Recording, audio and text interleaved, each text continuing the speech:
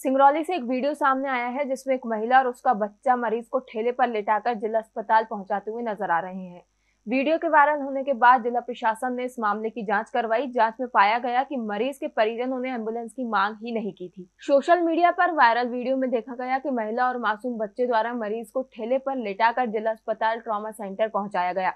Video viral होने के बाद जिला प्रशासन ने मामले को संज्ञान में लिया और जिला प्रशासन ने सिविल सर्जन और सीएमएचओ की टीम बनाकर मामले की जाँच कराई, जिसके बाद जाँच में पाया गया कि पीड़ित का घर 500 मीटर की दूरी पर होने के कारण मरीज़ के परिजनों ने एंबुलेंस की मांग नहीं की थी और तत्काल उपचार के लिए उन्होंने ठेले पर ही मरीज़ को अस्पताल पहुँचाया। इसकी हमने तहकीकात कराई, जाँच कराई थी। उसमें ये सामने आया है कि वो असल में ट्रामा सेंटर से करीब 500-700 मीटर दूर उसका घर है।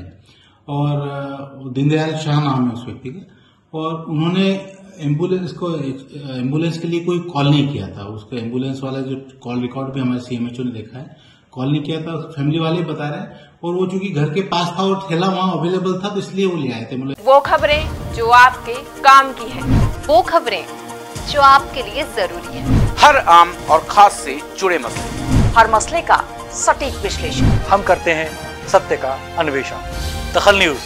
आपके हक में। आप देख रहे हैं दखल न्यूज़।